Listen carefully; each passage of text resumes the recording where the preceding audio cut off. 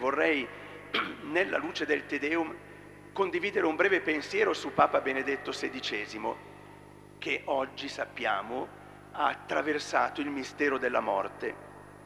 Papa Benedetto ha vissuto nel suo magistero questo Te Deum.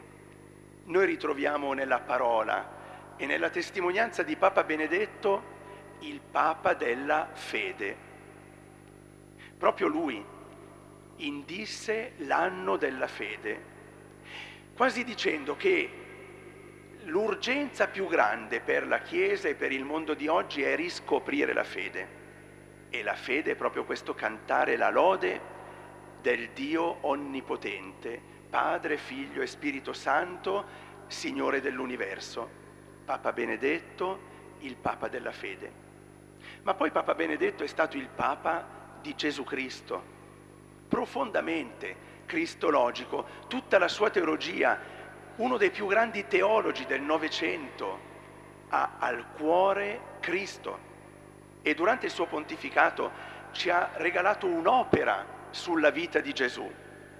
Allora Papa Benedetto è il Papa che ci ha indicato Gesù come Maestro e Signore della vita, come colui che siamo chiamati a seguire nella fedeltà.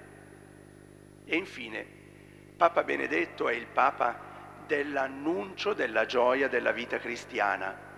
La ricchezza del suo ampio magistero tocca i vari aspetti della vita umana, raccontandone lo spessore e lo sguardo del Vangelo, la verità del Vangelo, che si traduce nelle scelte, nella carità, nella vita di ogni giorno e nella gioia di essere cristiani.